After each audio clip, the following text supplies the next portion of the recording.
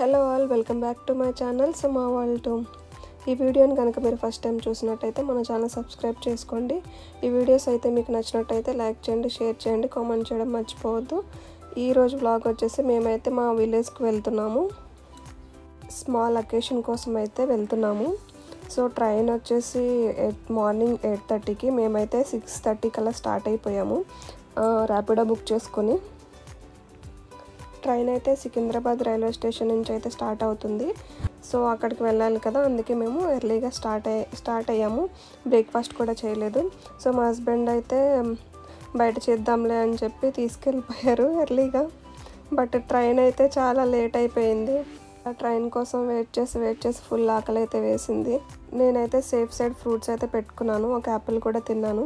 But అయినా ఆకలి తీరలేదు. సో మా హస్బెండ్ అయితే బ్రేక్ఫాస్ట్ తీసుకొచ్చారు కానీ ట్రైన్ ఎక్కిన తర్వాత తిందామని అలా వెయిట్ చేస్తూనే ఉన్నాం ట్రైన్ కోసం. ఫైనల్గా టెన్ థర్టీకి అయితే ట్రైన్ వచ్చేసింది. ఇంకెక్కి ఫాస్ట్ ఫాస్ట్గా బ్రేక్ఫాస్ట్ అయితే చేసాం కానీ బ్రేక్ఫాస్ట్ అస్సలు బాగాలేదు సికింద్రాబాద్లో ఇంత దారుణంగా ఉంటుందని నేను ఫస్ట్ టైం ఎక్స్పీరియన్స్ చేశాను.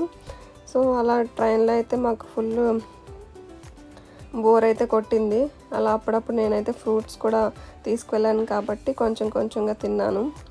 సో పల్లీలు కూడా తీసుకున్నాం ట్రైన్లో అవి అస్సలు బాగాలేదు సో అలా కొంచెం తిని అయితే పడేసాము.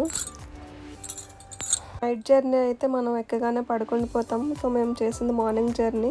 సో అలా కొంచెం బోర్ కొడుతూనే ఉంది. సో మా కంపార్ట్మెంట్లో ఒక బాబు అయితే ఉన్నాడు. తనతో అయితే మా హస్బెండ్ ఆడుకున్నారు బాగా. తనైతే మామయ్య మామయ్య అని పిలిచాడు. ఎవరు చెప్పకుండానే తన మామయ్య అని పిలిచాడు.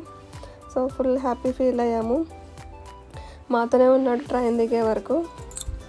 సో అలా లంచ్ టైం అయితే అయిపోయింది. మేమైతే ఆన్లైన్లోనే ఆర్డర్ పెట్టుకున్నాము. ఫుడ్ విజయవాడలో తీసి తిందామని చెప్పి ఆంధ్ర ఫుడ్ కదా అని చెప్పి. కానీ విజయవాడ వెళ్ళేసరికి త్రీ ఓ క్లాక్ అయింది. అప్పటి వరకు అలా వెయిట్ చేస్తూనే ఉన్నాము.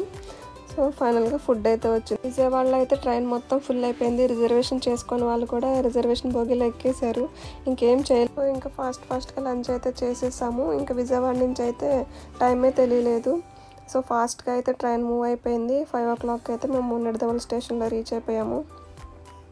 సో మా ఫాదర్ వాళ్ళకి మేము ఇంకా లేట్గా వస్తామని చెప్పాము. సో వాళ్ళు రావడానికి కూడా చాలా టైం పట్టింది. అప్పటి వరకు స్టేషన్లోనే కూర్చున్నాం. మేము హోమ్కి రీచ్ అయ్యేసరికి ఎయిట్ ఓ క్లాక్ అయ్యింది. ఫ్రెష్ అయిపోయి డిన్నర్ చేసేసి పడుకున్నాము.